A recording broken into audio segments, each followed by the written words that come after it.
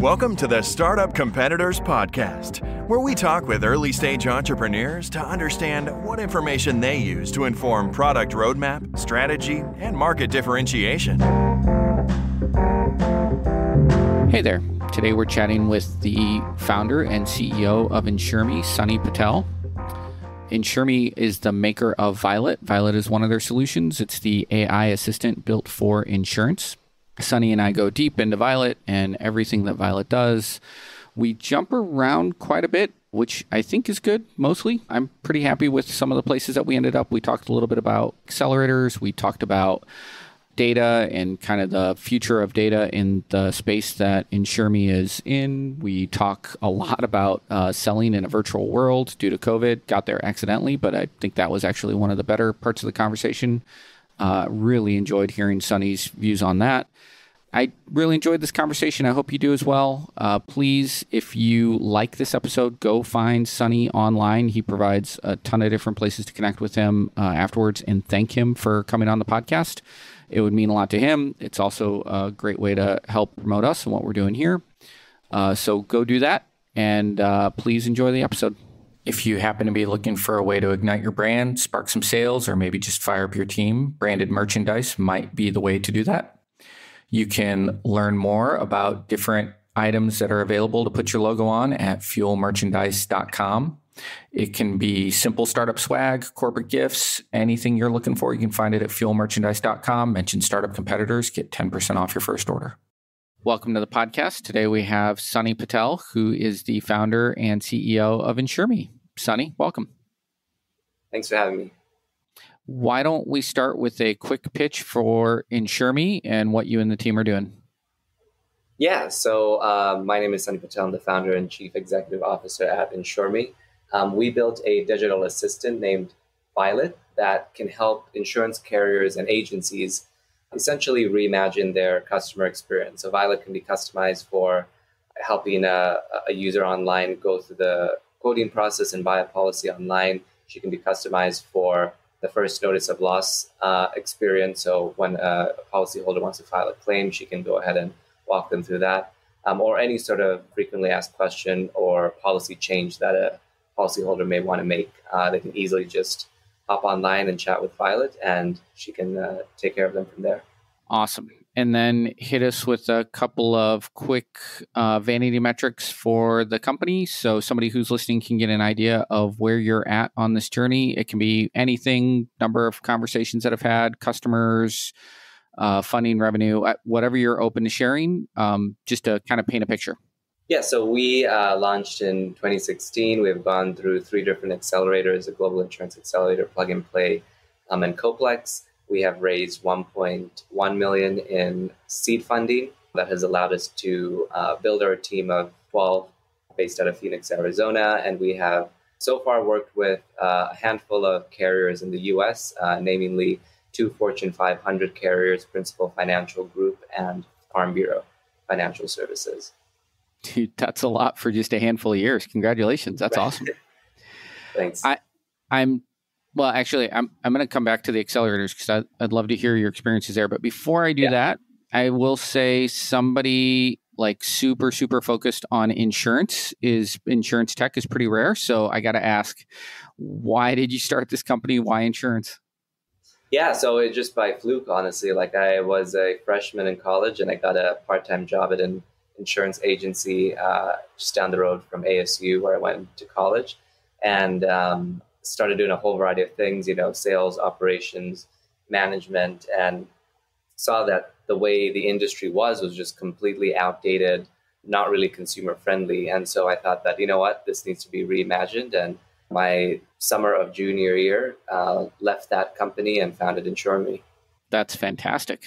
And then, so that was 2016. That was 2016. Yeah, summer of 2016. Nice. So then, walk me through the accelerator experiences. Which one was the the first one that you went through? Uh, the, well, initially I partnered with Coplex, which is a uh, uh, accelerator here in Phoenix, and they essentially take you from idea to your MVP or revenue, um, and then help you raise your seed round. So I partnered with them to kind of build out our initial MVP, put together the technical co-founding team, and uh, then got applied to the Global Insurance Accelerator in Des Moines, Iowa, and I was part of that cohort in 2018. And that's kind of where we found uh, our kind of product market fit. We saw that you know what we had built was really impactful for insurance carriers and uh, a solution that they were really desperate for. So we went through that program, found product market fit there, and then went into plug and play in 2019 last year. Um, and I was part of the plug and play Silicon Valley InsurTech batch, as well as the plug and play Singapore InsurTech batch. So it was a, a whirlwind worth of a you know year and a half. Why go through plug and play if if you feel like you had found product market fit before plug and play? What was the impetus to go through that program as well? Yeah, so plug and play is primarily a business development focused uh, accelerator. So it is usually you go to plug and play after you found product market fit, um, because all they really do is connect you with more customers, right? So they have about a hundred plus different insurance carriers, both here at home and around the world, that they match you up with for deal flow. Um, so it really helped us have you know more conversations with more insurance companies. Awesome. When you think of competitors for Insurmi, who or what comes to mind? Um, so we compete against you know some other players in the market that have taken more of a you know generic uh, approach to conversational AI, right? So they're not a vertical specific vendor. Um, an example of, of that can be you know like uh, just like IBM's Watson. Pypestream is another company for enterprise level conversational AI, and then we we do have like one I would say you know that is similar to us, Spixii out of the UK but uh, the space is still fairly early, and it's it's you know still in development. I would say so. I think while there's other vendors out there trying to solve for maybe the same problem set, we're all taking a a different approach. What makes conversational AI for insurance different or special? Is it the vocabulary being used, the types of problems that you're trying to solve, the the backend systems that you're integrating with. Like when you think about what makes your space unique, what comes to mind? Yeah, so uh, insurance is you know one of the biggest industries in the world. When we think about our core technology, conversational AI, the lifeblood of it is data, and insurance companies are huge treasure troves of of data. So partnering with these carriers to kind of build out a conversational AI solution, we've seen that the technology as a whole can have such a tremendous impact to the organization because it is, you know, all these companies are very large. They have a whole variety of inquiries and different types of questions that they need to answer and interactions with their very large customer base. And the flexibility that conversational AI delivers for these type of companies is uh, truly remarkable. Walk me through where you get started with an insurance company what i guess what is a what does a typical customer engagement look like in terms of you've hopefully landed the kind of the the, the first phase of that of that contract yeah. is are, are they coming in and saying look let's just focus on either you know where they feel playing so is it just claims or is it just new customer applications or are, on day one are you trying to kind of span across the organization yeah, no. So we definitely do focus on one use case first because we the way we you know engage with our customers is that we do a pilot or POC first um, and kind of prove out the technology and the ROI of, of, of the actual solution um, for one use case, and then have a broader strategy to kind of roll it out across multiple other use cases. So it's it's definitely not you know we we do kind of go and reimagine the whole end to end customer experience on, on day one uh, it's just not feasible.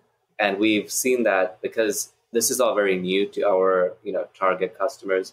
We have to kind of also slow down for them, you know, in a lot of ways. Because as a startup, we want to go and say, oh, let's go and fix all of these different areas of your company. But these are very, very big companies, you know, and trying to, it's almost like if you're trying to change course of a very large cruise ship, that just takes time. You know, it's not a speedboat like a like a startup is. Yeah, I have some prior experience in insurtech, so I would imagine in the space that you're playing, if people are doing auto insurance, for example, you know that that can be different state by state. It can be different based on the types of policies that are being offered. How much of that complexity enters into your solution? So, are you like when you think of rolling out within a larger client, are you doing those same type of, okay, we're going to start, we'll start with the pilot, then we're going to start rolling out these five states, and then we'll hit these seven states next? Is it yes. that same thing? Yes, exactly. Yeah. So it's it's very similar to like how they would do it even internally, right? Rolling out a new yep. product because it, it's all about risk. You know, the and if you think about it, insurance companies are all about risk. That's literally the business. So they're the they don't want to take too much risk, and so they would prefer to pilot any type of you know new innovation that comes in on a much more smaller scale. So that could be it can be limited to the geography of where this solution is being marketed or available to only a, a certain, you know, pre-vetted customer base. So it's definitely not just like rolled out on the homepage on, on day one. So then th- this may be a stupid question, but I, I feel like this is something I would get frustrated with. So then as a user, if I'm like, I, I can imagine a world where I'm using your solution to get updated quotes for my auto insurance and then I'm like talking with Violet, and I'm like, oh, "Hey, Violet, I have a motorcycle as well. Can you give me a quote for that?" And then, of course, that hasn't been rolled out yet. How much do you see that where somebody's trying to jump into some other aspect of their insurance, and and you're just not quite there yet? And then I, I, I would imagine for me that would lead me to be frustrated that I still now have to pick up the phone and talk to a human again. Right, right, right. So, I mean, for the pilots, we do tend to do, um, we try to limit how far the user can go, right? So we don't keep it very open ended like we would while, while it's rolled out at full production. So it's more guided experiences. You know, we use a lot of buttons and form, you know, clickable responses to kind of guide that user to a certain outcome. But in the, you know, the, the, the broader value of the solution would be you know, like how you just explained, where you're trying to buy one policy and then you want to buy another one, and Violet can automatically do that. But in order for like you know the initial days of pilots, we we try to limit the scope of where that user can uh, end up. That makes sense. Yeah, you're currently selling to individual insurance companies directly, implementing the solution for them as a and this is this will be a question as opposed to being more of a like a quoting platform where somebody could just download Violet, start talking to Violet, and then Violet would match them with the best insurance company that kind of fits their need. That is that correct? That's correct. Yeah. So we um, license out Violet to the insurance carriers, um, and then we will be also launching Violet for agencies next month. So it's going to be not just insurance carriers, but also the agencies that sell policies for these carriers. Um, but by no means are we, you know, like a, a brokerage or comparison site or service. Do you ever see yourself possibly going down that path? No, so we actually, funny enough, we started there. You know, so the the initial idea for Insurmi.com was we built a a chatbot named Ari, and Ari would walk you through a whole bunch of questions on buying a for if you wanted to buy a term life insurance product, and then he would give you twelve different quotes from a couple different uh, life insurance companies around the U.S. But the thing is, with with that kind of direct to consumer approach, B two C, it's it's just tough. You know, you have to raise a lot of money, and it's a very crowded space as it is. So that's why we kind of took that B2B approach, and we made that pivot. Um, and that actually happened during the Global Insurance Accelerator. When did you know you had product market fit? Um, I would say, you know, during the towards the end of the Global Insurance Accelerator, and then once we joined Plug and Play, simply because of the demand and and seeing that, you know, the what we were solving for was a very real and pressing need um, of of these insurance companies. So it was just you know general market feedback that we got the traction that we were getting from a poc standpoint and then even like some of the feedback we're getting from investors that were eager to invest in an ai first insure tech you know venture.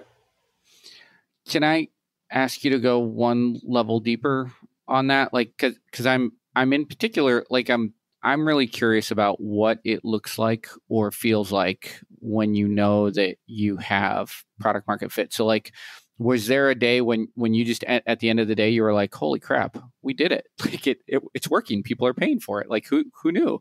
Like what can you remember like a specific moment where you're like oh my goodness we've done it. We have product market fit.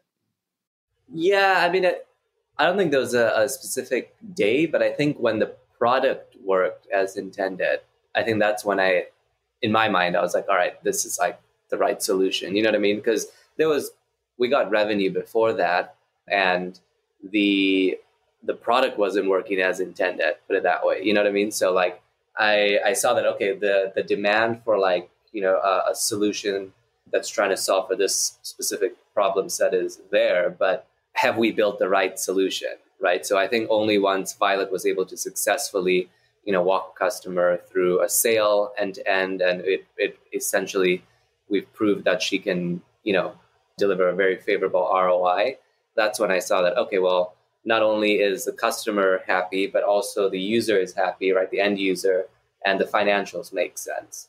So that happened, I would say, you know, sometime end of last year. Got it. And what is the primary ROI that you're going after, or even financial incentive, I guess, because it, it may not always be I, am guessing it can be very different depending on the client that you're working with. W- what are some of those things that they're trying to solve for from a business perspective when they turn to a solution like Violet? Yeah, uh, so it's a couple different things, right? It would just depend on on the use case of Violet. Um, on the sales side, it's obviously like you know, are we able to acquire customers at a more favorable customer acquisition cost compared to other channels um, and increase revenue enable them to capture more revenue. Um, on the claims side, it's more about reducing the cost to serve and the cost of claim and deliver, you know, a much more favorable claims experience. So we track kind of the the reduction in operation Uh, operational costs as well as the increase in the kind of net promoter score on that claims experience. And then on the service side, it's it's you know we're tracking primary KPIs are are you know was this user able to actually complete their task or inquiry without having to go through another channel? So we quantify that and then just see if, if we're, you know, in all three cases, I think it's are we increasing the overall net promoter score of that of that company? Because if we can deliver a great sales experience on the front end, that's wonderful. But if they fall short on, you know, some of the service aspect or even the claims process where really companies need to shine, then that's where I see a lot of you know companies go wrong, and we try to deliver a, a very cohesive end to end, delightful customer experience with Violet. When you're building that business case to bring Violet into an organization, I have to imagine many of those things that you just listed off. I can see an internal IT team saying, "Well, look." we can do that. There's chatbot technology out there that we could just grab off the shelf. We know our data. We know how to, you know, we can figure out how to implement that stuff. Why go to a solution like Violet versus letting us try to build that internally? I, I have to imagine you come up against that all the time. Yeah, some some. I mean, initially we did right the buy versus build scenario, yeah. and uh, frankly, you know, we can deliver. I always say, if you're that confident, go ahead, right? But they never do because it doesn't make sense. Usually they'd have to go and get like hire a whole bunch of NLP people, you know, to even figure out how to replicate the solution. Um, we've seen that they don't have the time for it, you know, and it's not a priority out of the million different things that an internal IT team can be working on at a carrier. It ain't this, unfortunately, you know, unfortunately. Uh, so we, you know, the way we position our solution is that we can deliver a much quicker you know time to benefit for the customer so they can start to generate you know that roi and the value out of the solution without having to go and figure you know take months or years to get a solution uh, that was built in-house off the ground that is the i would say you know kind of the, the primary thing that we you know we, we kind of articulate if we do ever get that well we can just try to replicate it in-house. Got it. Great answer. This episode is brought to you by Full Stack PEO. Most founders start companies because they figured out a better way to solve a problem or serve a need, not because they love tracking payroll, filling out compliance forms, and explaining employee benefits packages. And yet, all that stuff still has to be done. That's why there's Full Stack PEO. Full Stack PEO specializes in turnkey HR for emerging companies, not just those core services, but advice and expertise that help founders maximize employee potential. Curious? Find out more at fullstackpeo.com. Fast forward, let's go five years into the future. What does Insurmi look like five years from now? Yeah, so uh, positioning ourselves to be kind of the leader in our segment, right? So we do want to remain vertical specific. We are the you know kind of digital assistant for insurance. We want to make sure that we are building Violet to be you know the smartest, if you will, in the space. So we're continuously you know delivering the most value for the customers that have chosen to leverage Violet. I think in five years, I do want to you know, if you think about insurance, there's the insurance carriers, then there's agencies, and then there's agents, you know, as well. So there are far more kind of stakeholders we can apply Violet to and, and you know, drive value to with Violet.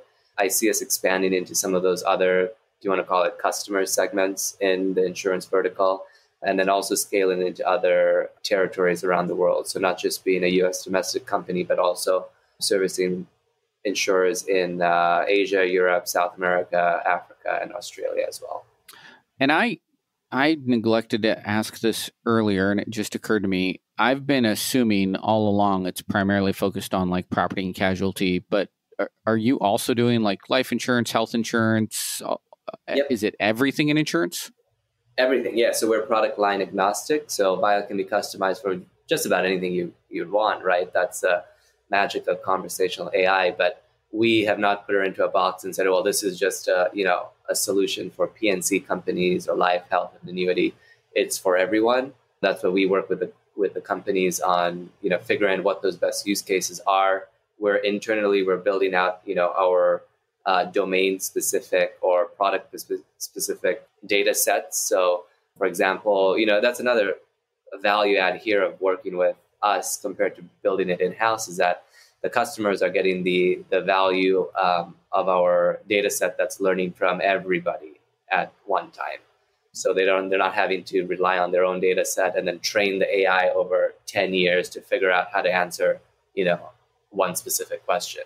So that is another one of the big value adds of why partner with Insurmi and leverage Violet compared to, you know, trying to replicate it in-house. What are, if you can talk about this, what are some of the challenges that you've dealt with over the last kind of four years in fi- figuring out and understanding those data sets? So I, I can imagine what you just said would make it very hard for an in-house team to do. Also, is what makes it hard for you to do. Mm-hmm. What what are maybe some of those kind of false starts, breakthroughs that you've seen over the years that have kind of gotten you to where you're at, specifically from like a data science and uh, technology perspective? So one thing we did fairly early on was again partner, and I have to give a lot of credit to the GIA for helping us really find partners to train Violet. Right, so this can be uh, agencies or and or uh, carriers that we work with to really understand, you know, dive deep into like what are their customer inquiries coming in, like to the call center and other channels, and then helping, you know, which essentially helped us guide our strategy of really building out our data set. So focusing on like, you know, what what are the top 100 questions that a life insurance company would get when a customer is filing a claim, right? So we we approached um, a whole variety of, of companies that we've done internal POCs with and leveraged the their kind of IP, you know, to train to train Violet. That's kind of a one way we did it. Another way was uh, just talking with a lot of people. I mean, we've kind of put this together with uh, input of, of just actual stakeholders. So um, these are the claims processors or agents that are selling policies and really building out, you know, as many possible inquiries and intents that we we we could think of, and then relying also on the the the feedback and, and inquiries that are coming in from the live instances of Violet that, that are out there. Um, but that that's something that you know you just have to wait over time, and people will ask a certain question. Then you have to go and go in and tag the appropriate intent and the response, uh, and that's something that you know has been just building and growing as kind of a, a spider, like almost like a spider web over the past four years. But it's it's been a whole variety of things. I put it that way. I can nothing imagine. too nothing too like you know sophisticated either. It's just like, uh, and that's how it's supposed to be, right? In the early days of startup, you kind of have to get creative of, of how you put the the thing together. And then um, now we're going to be investing in, in some more you know sophisticated technology that can help um, get us to more accurate replies quicker and partnering with other you know data providers that are out there. But obviously, you know that all costs money, and in the early days when you are starting off, you know, especially before we got funding or anything like that or revenue, uh, you got to kind of do it the old-fashioned way. Yeah, understood. L- long term, I would imagine that data outside of just understanding how to create a better customer experience for insurance carriers and, and agents and everybody else in the value stream, uh, there's got to be other implications for that data long term, right? I mean, I would imagine you're going to be building a data set that if five, ten years from now, you're going to be able to monetize in other ways as well. Correct? Um, do you guys view That's it that right. way? Is that part of what you're part of the long game as well? It's part of the long game, you know. It's definitely not part of the like the now and urgent, right? Because we're trying to Yeah. really figure out the the the actual you know customer experience. But then, I mean, the system is you know recording everything.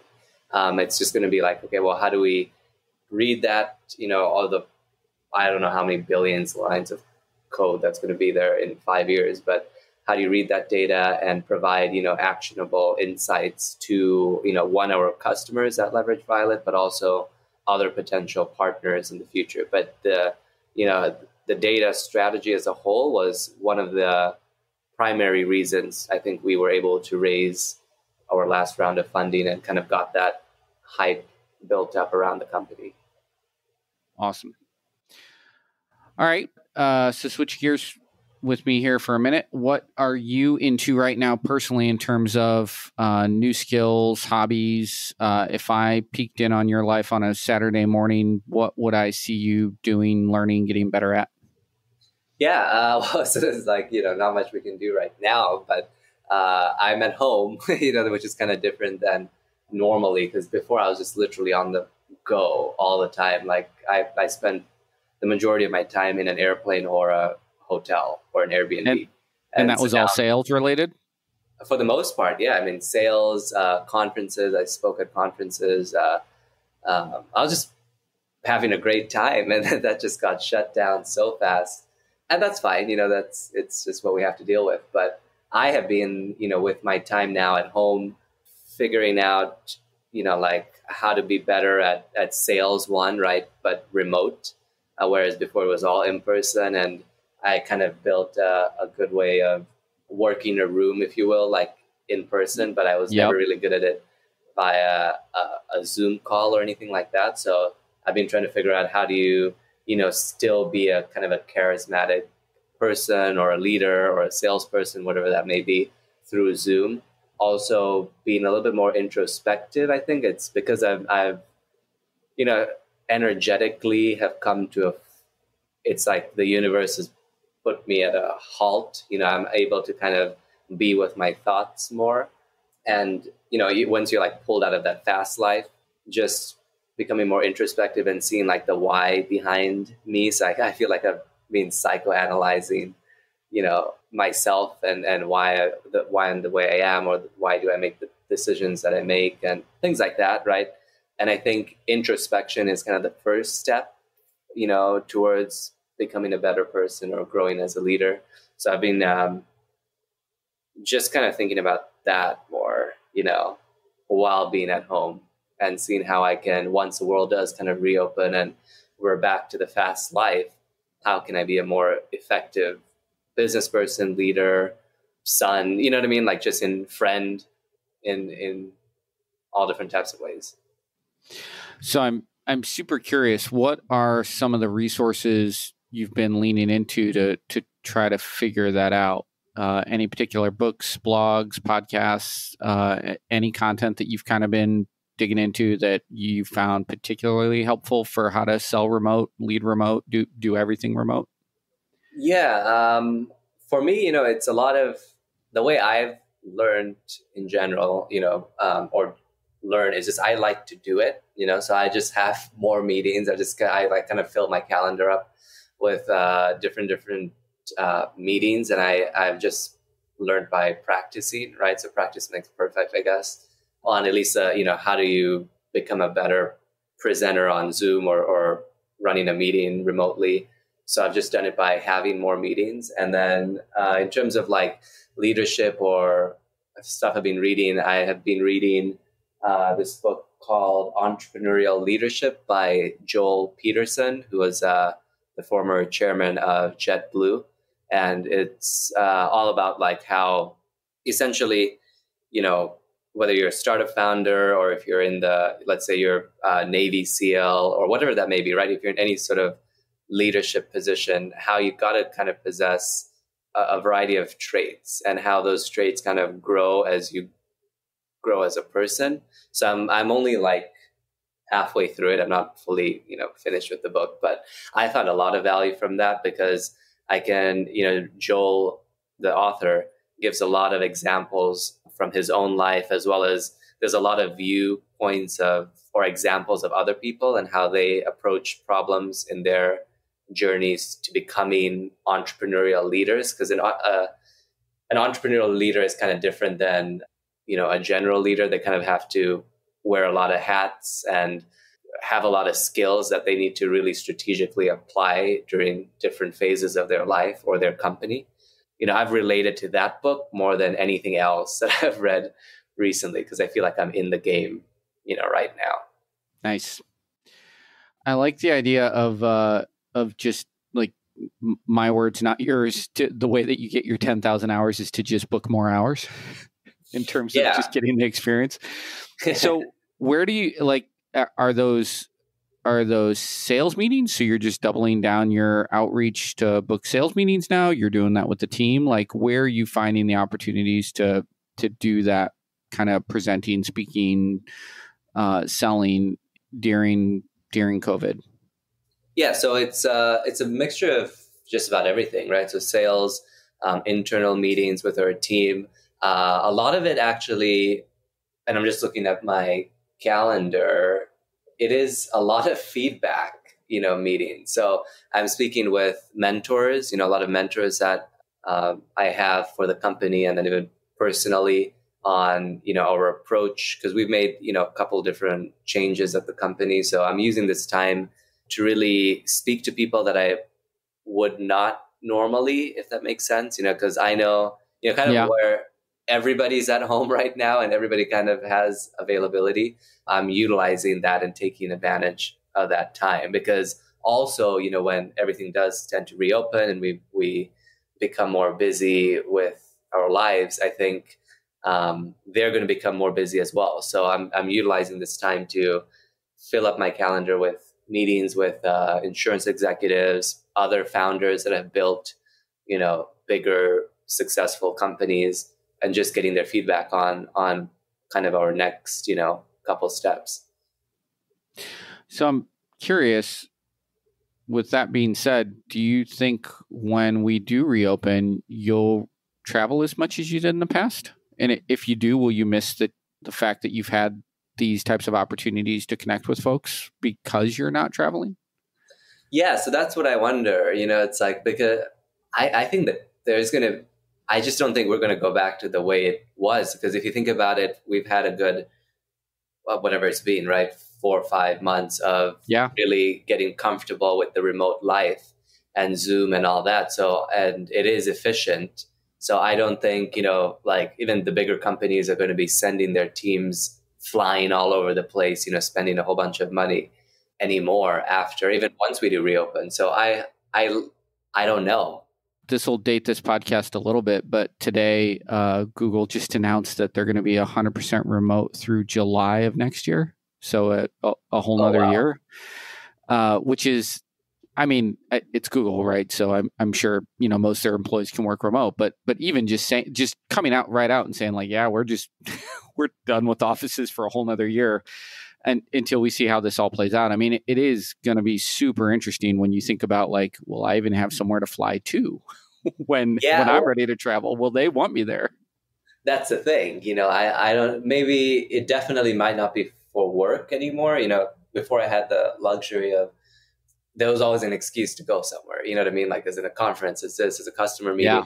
And then I would make it into like a, a holiday as well. You know, just stay another couple days and explore the, the place. But now I, you know, I've been somebody that has been traveling ever since I was born, you know, like all over the world. And I'm just used to being on a plane and in airports and all of that. And when that gets taken away so abruptly, I think it's going to be that's like one of the hardest things I think I've found this whole time is just trying to be in one place, you know, and and not be bouncing all over the the world. But I'll definitely still travel for fun, you know. Hopefully, there's that uh, that reason too. Yeah, I used to travel. Well, I guess it would go in spurts, but but I would travel a fair amount throughout the year, and I loved it as well. Uh, I like going to new places. I like eating crazy food. I, I like meeting new people. Uh, so it, it's very much uh, something that I kind of now that I don't have, you know, I complain about it when I did it, but now that it's gone, I'm kind of like, oh, I, I kind of want to go to a conference or something. I, I want to get right, out and, exactly. and, see people and do things. Yeah, yeah. Exactly. You never thought you'd say at. that. You know what I mean? Like, I don't. I want to go to a, like even I say like I want to go to an InsurTech conference. Like, I mean, like, uh, yeah, I never thought those words would come out of my mouth, but I do miss it now. You know, all of those different things. So I was I was talking to somebody here in uh, just this morning um, in a one on one. I was talking to somebody on our team about kind of sales in a COVID world, and you know, one of the things that that we were talking about was the challenge of, you know, even if you do attend a digital event, there's no like it's not networking like you would typically have, right? I can't just grab exactly. you by the sleeve yeah. and pull you off to the side and be like, "Oh, no. hey, Sonny, tell tell me more about what you do." Like, exactly. so how, when you're in those events, how do you how do you make the most of them, or or based on some of the research and reading you've been doing, how do you think you will make more of them in the future? I think you know what I've done is um, people that I do want to because like I, I'll agree with you. The magic all happens at the after party or at the cocktail. you know what I mean? Yeah. Like it's not at the the fireside chat, you know, where basically half the people are asleep. It's uh, it's usually done at like the the party or like the after party where you're having drinks with people, and then that's where like the DL or the relationship is formed. And now with without that, like I, I just kind of go to the guest list and I'll see like, all right, this is somebody I actually I do want to like you know talk with one on one, and then I will reach out to them and schedule a a time for a like a half an hour call with them, just one on one. But yeah, I mean, they, I don't think they're they've figured out a way to to kind of replicate that because that's the the magic of in person. That's the magic of being social. Like, and you can't really do that online. Quick quick strategy and tactics. Uh, so you're reaching out to them to to say, hey, let's let's grab 15, 30 minutes chat one on one. Are you doing that in in Zoom? Are you doing that in LinkedIn? Are you doing that in email afterwards? How when are you doing that? Definitely, like after I do it uh, via email or LinkedIn. You know, LinkedIn actually works pretty well for me. They do tend to, you know, respond like if I if I just slide into their DMs, and then I just say like, oh hey, you know, like I if if this is a, a normal conference, I'd buy you a drink, but here we are, you know. Ah, nice. We, can just do a virtual happy hour and make a, a cocktail over Zoom. Okay, so. that so that's that's pretty well played. So you're still doing it really timely. So the you know the event, the networking event wraps up, and and you're finding the two or three people you wanted to connect with and hitting them right away. Yeah, exactly. You know, so because yeah, it's just like anything, right? Any sale or whatever, you got to do it while while the lead or whatever is hot and top of mind. So yeah, that's kind of, and it's a lot of experimenting. You know, I'll, I'll try out different like what you know, like the first line, I guess, or the or whatever you you start off your paragraph with. So I try out different different things and see what gets a better response. But I think keeping it real, keeping it conversational, um, just like how you would if you were at the bar. You know what I mean? Like people tend to respond well with that. I don't I don't keep a lot of my messages very formal, but that just might be my style. no, I uh, I love it. I think it's great, and I I mean I would be much much more likely to respond to somebody who hit me up right away. They did it in yeah. just like they would at the event. Like there's zero chance I'm not replying to that person, even if it's to just say, "Hey, can't right now. Can let's chat right. next week." Exactly. Um, yeah, that's great. I love it. All right. Well, I've probably kept you entirely too long. Uh, thank you for that digression. that was awesome. I really enjoyed that. I never thought the podcast would get to uh, to to pick up lines on LinkedIn, but I'm, gl- I'm glad we got That's, there. Yeah. Uh, all right, Sonny. If uh, people want to learn more about Insurmi, what's the best way for them to do that? Or if, if they want to get in touch with you, where is the best place for them to do that? Yeah, so to learn more about Insurmi or Violet, uh, it's just our website, you know, insurmi.com, and that's spelled I N S U R M I.com. Um, and then if you want to reach out to me, I'm available uh, and easily reachable on LinkedIn. So it's just linkedin.com slash sonnypatel94 uh, or Instagram, you know, again, sliding to the DMs, uh, sonnypatel94. and that's like, I'll just be real with you. You're like, that's like the easiest way to get in touch with me, you know, because email, like I will get 150 a day, you know, so it can take some time, but a quicker way is just LinkedIn or, or Instagram. I can certainly appreciate that. All right, Sonny, thank you so much for taking the time. I truly appreciate it. Thanks a lot. I really enjoyed this uh, this podcast.